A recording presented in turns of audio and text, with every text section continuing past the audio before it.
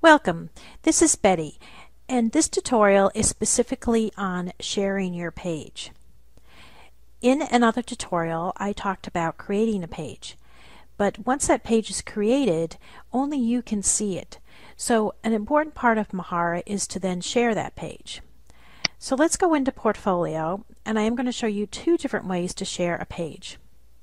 So one way is to uh, click on the page, or perhaps you're already in that page, and click on the editor. Or as I said, maybe you've already created the page and you are already in the editor. You'll notice that in the editor there's a link up here that says share page. So you can click on that and you get to the sharing page area. Note that you probably won't have as many, but uh, all your pages are actually here and the one that you are in is already clicked, so you could just leave that. This page is already shared with public, so I've already clicked the cross there and, and added it. If I no longer want to share it with public, I can remove it from public, and then I can add it back in. Now remember, if you do public, then it is findable on um, Google, and so you, if you want it public, you that means that everyone can see it. You can share it with your friends, you can share it with logged in users. Note also you can share it with any of the groups you belong with, so you may want to do that. And you can click on this and either search your friends or groups or all users and share it with a particular person. So uh, let's just say I want to share it with Susan Oakes. So I would go there and Susan comes up. Now note when you click on a particular name, it doesn't look like it's doing anything. You do have to scroll back up and see that uh, the person is listed there. You can also put in specific dates for sharing. So that is a way to share a page. And once you have made your decision, make sure you save that. Now this one is now shared with the public.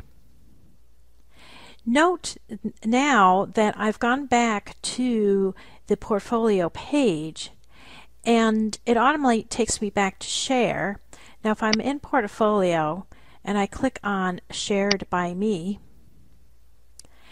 this is another way in which you can share uh, so rather than going to the page, you can just click on Portfolio and Shared by Me. And if, if I go ahead and click on Edit Access, and I can do this page as well, that actually takes me back to the page in which I was at. Note though that there's another column here called Secret URL, and your instructor may ask you to create a secret URL, and that's where you would do this.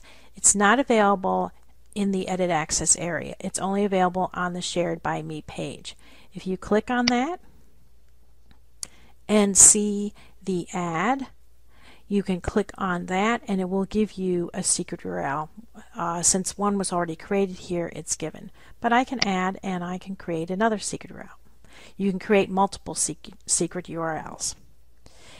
And uh, you can then share that secret URL with your instructor with other people and only people who have that secret URL from you can view your page. So your page is safe, private, only seeable by you and with whomever you share this secret URL. So that's a nice way to um, probably do an assignment, for example, for a course and make be sure that only people you're sharing this with will be able to see it. And that's how you share a page.